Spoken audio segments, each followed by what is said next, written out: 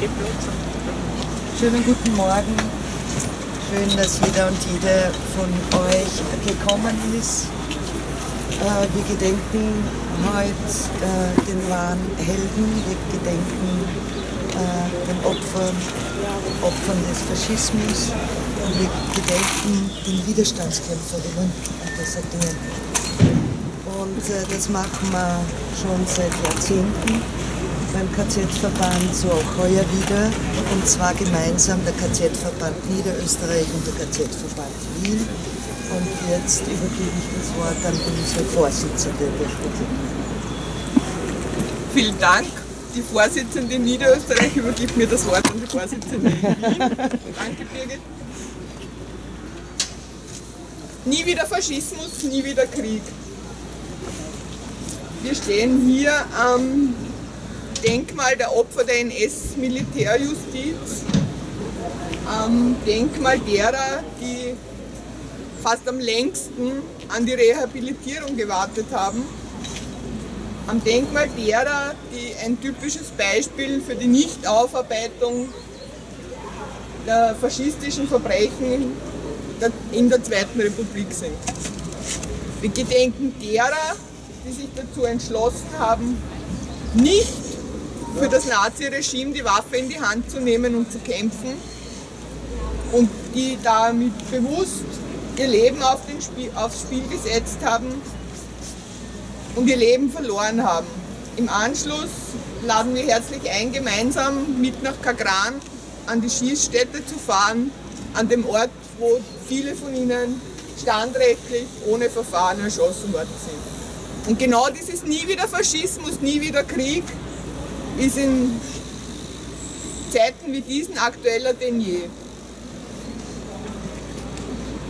Die Waffenlobby macht Milliardenumsätze. Wir wundern uns, dass Menschen vor Krieg, Vernichtung, vor Bomben fliehen. Und genau darum ist es nicht nur ein Gedenken, sondern es ist auch ein Mahnen. Es ist ein Mahnen davor, dass wir sowas nie wieder zulassen sollten und dass die Zeiten immer prekärer werden und wir immer mehr uns dafür einsetzen müssen.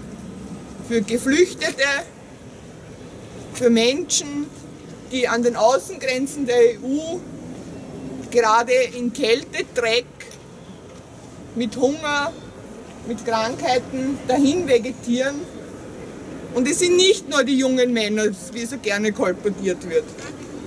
Weil die angeblich geschlossene Balkanroute sieht man in die Lager, in die illegalen Lager, sind es Frauen, Kinder, sind es Familien, aktuell gerade wieder an, in, an der Grenze zu Belarus, die vor genau diesem Krieg fliehen. Und darum gilt es, diese Losen genau heute hochzuhalten und klar zu machen, die Waffen nieder. Vielen Dank.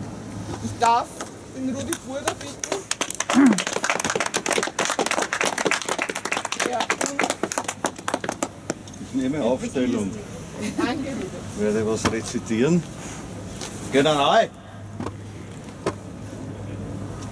dein Tank ist ein starker Wagen. Er reißt einen Wald nieder und zermalmt 100 Menschen. Aber er hat einen Fehler. Er braucht einen Fahrer. General, dein Bombenflugzeug ist stark. Es fliegt schneller als ein Sturm, aber es hat einen Fehler. Es braucht einen Monteur. General, der Mensch ist sehr brauchbar.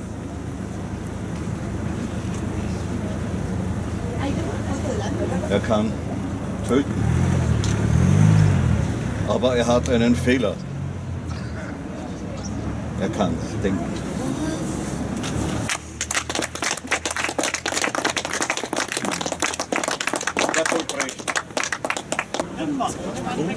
Kommt, kommt dazu.